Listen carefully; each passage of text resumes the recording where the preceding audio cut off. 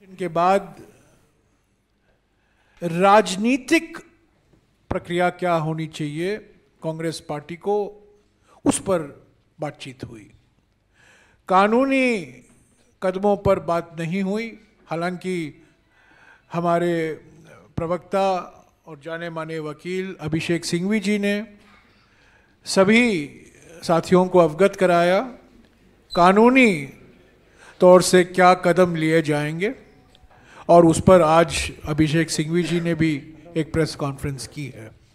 तो दो घंटे के लिए कानूनी प्रक्रिया पर नहीं, बल्कि संगठन की ओर से क्या कदम लेने चाहिए, उस पर बातचीत हुई, कई सुझाव आए। अगले तीन चार दिन में आप देखेंगे, हमारे संगठन एआईसीसी की ओर से पीसीसी की ओर से डीसीसी की ओर से और हमारे जो फ्रंटल ऑर्गेनाइजेशन हैं उनके ओर से आ, क्या प्रतिक्रिया होगी?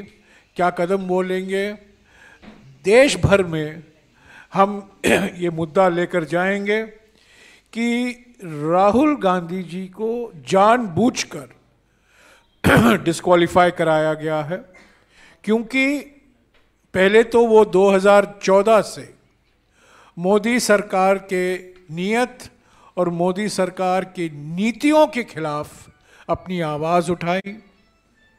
नोटबंदी के बारे में जीएसटी के बारे में, निजीकरण के बारे में, विदेश नीति खास तौर से जो क्लीन चिट प्रधानमंत्री ने दी चीन को जून 2020 को। तो 2014 से राहुल गांधी जी अपनी आवाज़ उठा रहे रहे। मोदी, एक सरकार की नीयत और नीतियों के खिलाफ। दूसरा दूसरा कारण यह है कि भारत जोड़ो यात्रा की सफलता से भारतीय जनता पार्टी घबराई हुई थी, परेशानी में थी।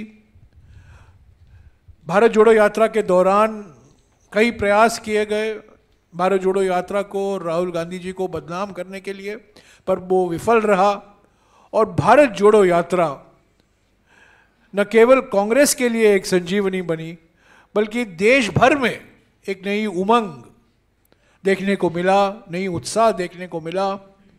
और लोग पहचान गए कि भारत जोड़ो यात्रा हमारे राजनीति के लिए एक परिवर्तनकारी क्षण है।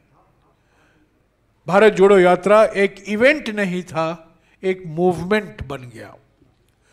तीसरा महत्वपूर्ण कारण जिसके लिए राहुल गांधी जी को जानबूझकर निशाना बना गया, बनाया गया, क्योंकि वो लगातार और ख़ास तौर से सात फरवरी से पार्लियामेंट के अंदर उन्होंने अपनी आवाज़ अडानी घोटाले पर उठाई। पाँच तारीख से कांग्रेस पार्टी ने रोज तीन सवाल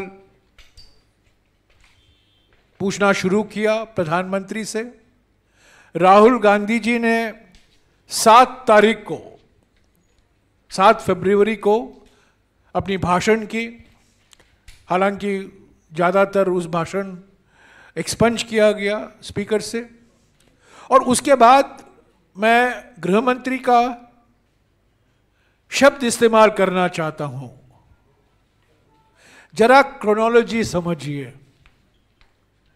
जरा क्रोनोलॉजी समझिए।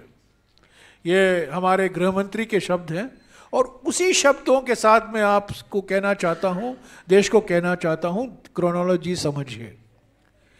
फेब्रुवरी सात को राहुल गांधी जी की भाषण होती है लोकसभा में।